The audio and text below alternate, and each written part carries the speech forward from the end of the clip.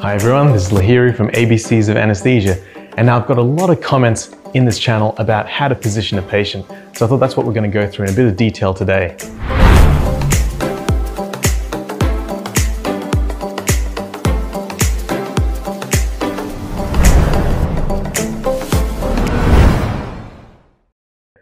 Now the first really important thing is that the airway can be incredibly difficult to manage because of the anatomy. So right now I've got these three axes, the oral axis, the pharyngeal axis, and the tracheal axis.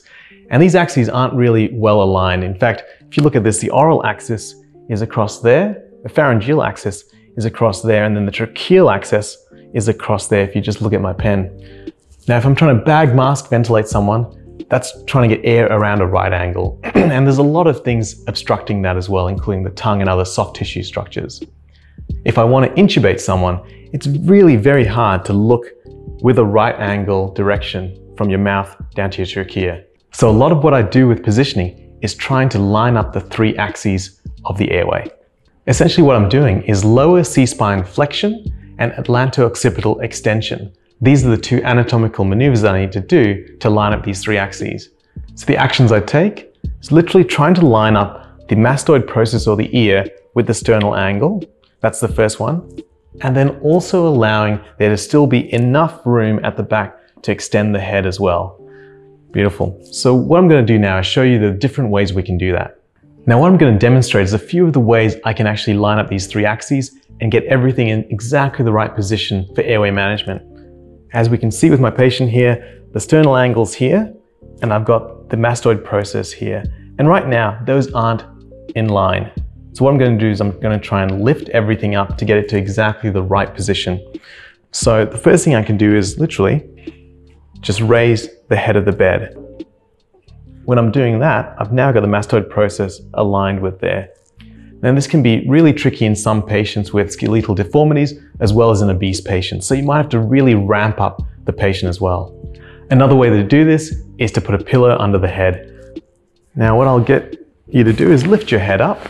I'll just put this underneath and rest your head back. And already in this patient, his anatomy is fantastic. So already I've got a really good alignment of sternal angle being horizontally aligned with the, the mastoid process. That's all working really well.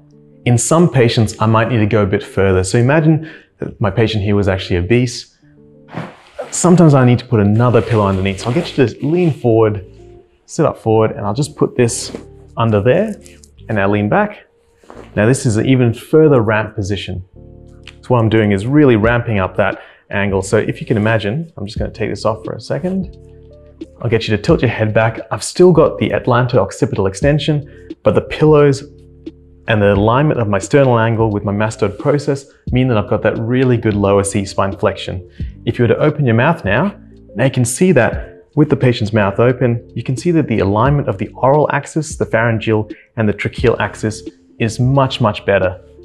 And this will make intubation far easier as well. Now there's a couple of ways that this can actually go wrong. When you're positioning the patient and trying to get that alignment of sternal angle with your mastoid process, sometimes you might push your pillows up behind the head like I've done here.